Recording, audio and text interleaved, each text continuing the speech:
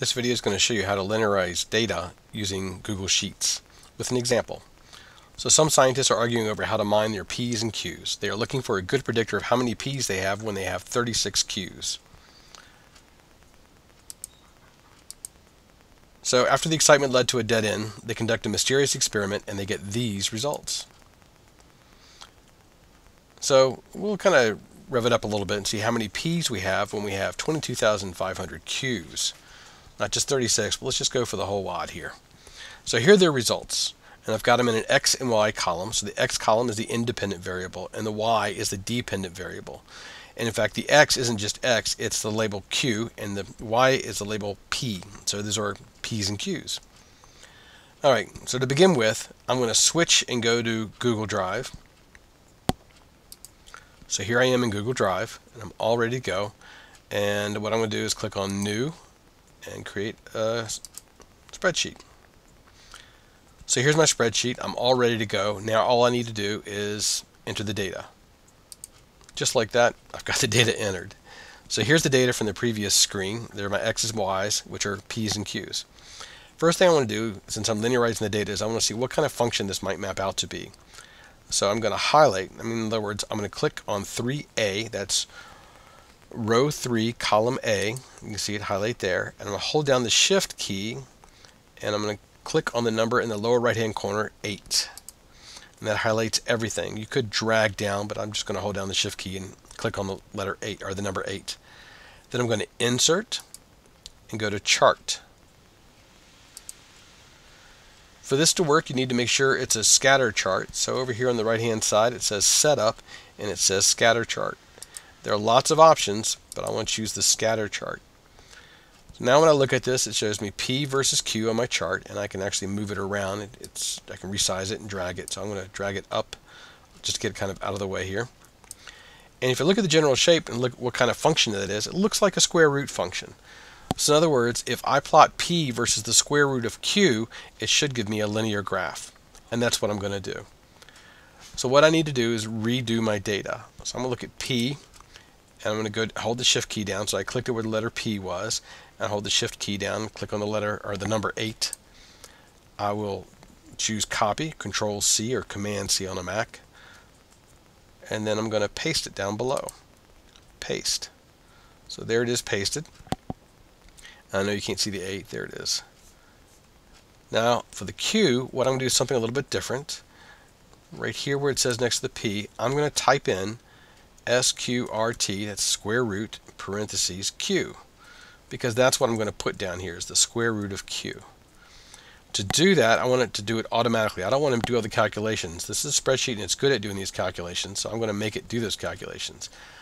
So in this cell, which is row 14, column A, I'm going to type equals. And that means that this cell, row 14, column A, equals a math function. And the function I'm going to do is square root so I'm going to type in SQRT because that's how you type in the square root function on a, uh, spreadsheet. And then I'll hit the parentheses. And then what I'm going to do is I'm going to click all the way up at the top, row 4, column A, and it's the number 4, and I'll click on that.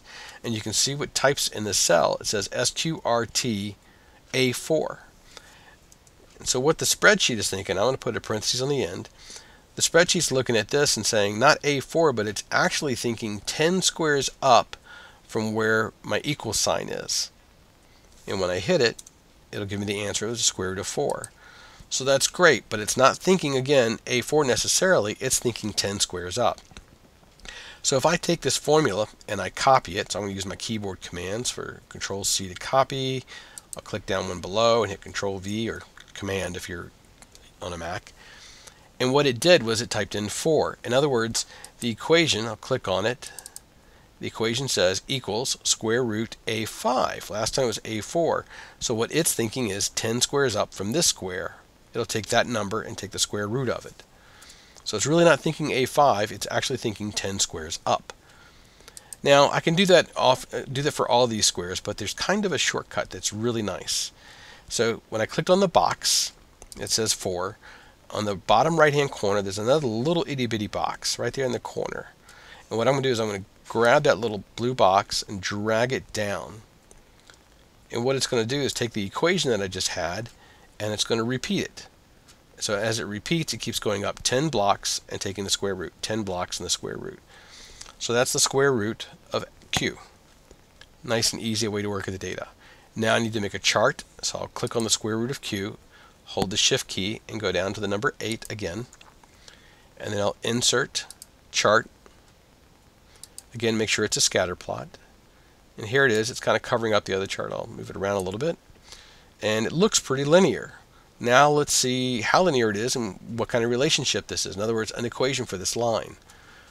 To figure all this out, again, I'll let the computer do the hard work. I'm going to go over to where it says Customize on the right-hand side. And then I'm going to click on Series. See the third choice down says Series.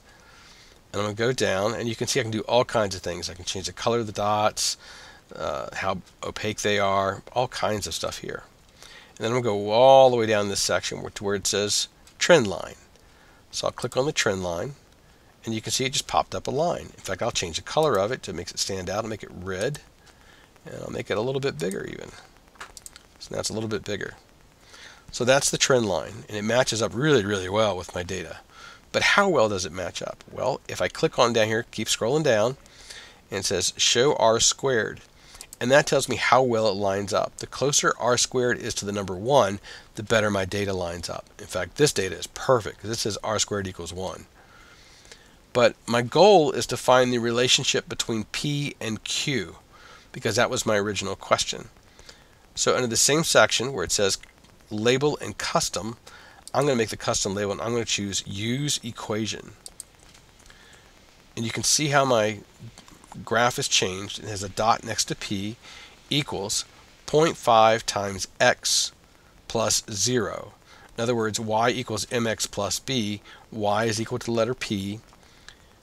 The slope is 0.5, and x is whatever's down here on the horizontal axis, which is actually the square root of q. Plus 0, that's the y-intercept. And r squared equals 1, so it's a great fit. It's rare that your data works out this well. So now I'm all set. I've got my equation and everything's it, it's all set. It's all done for me. Let me scroll up for a second go back to our question. It says, how many P's do you have when you have 22,500 Q's? So in square H1, I'm going to click there and I'm going to type equals and I'm just going to do the math. Let it do the math for me. So my equation was 0.5x plus 0. So that's 0.5 times and it's not just x, but I plotted the square root of q. So I'm going to type in sqrt, that's the spreadsheet function for square root, times the value, 22,500. No commas in this. It doesn't like the commas, it'll give you an error. When I hit return, it'll tell me the answer. 75. So when I have 22,500 Qs, I have 75 Ps. So that's how you mind your Ps and Qs. What if my function turned out something different, like 1 over x? Then I would type in equals 1 over whatever the cell was. That was A4, for example. What if the cell was, instead it was an inverse squared function? I would type equals 1 over x, use the caret to raise it to a power 2. And in here I want to put A4. So it's pretty easy to work.